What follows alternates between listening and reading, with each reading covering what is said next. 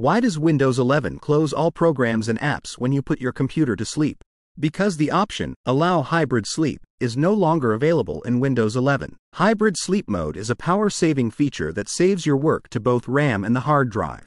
Which means that Hybrid Sleep Mode may not be available on some devices running Windows 11. Let's try an alternative method to fix this. Here's the sleep option under the Windows Power menu and it is not working. Go to Windows 11 Settings. Then open the Control Panel by typing Control Panel in the search bar.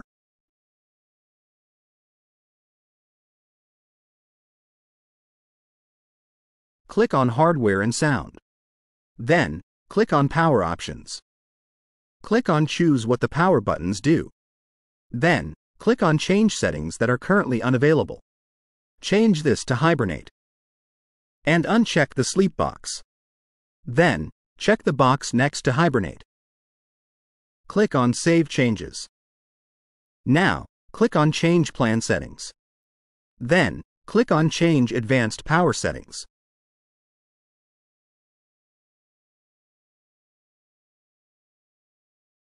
Disable sleep mode by changing this to never.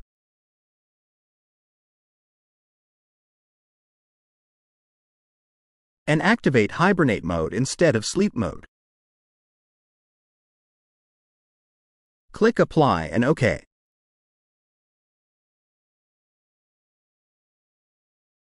Hibernation mode is now activated and will be used instead of sleep mode. Try it out and let me know in the comments below how it went. I hope you found this video helpful. If so, please give it a thumbs up and subscribe to my channel for more videos like this.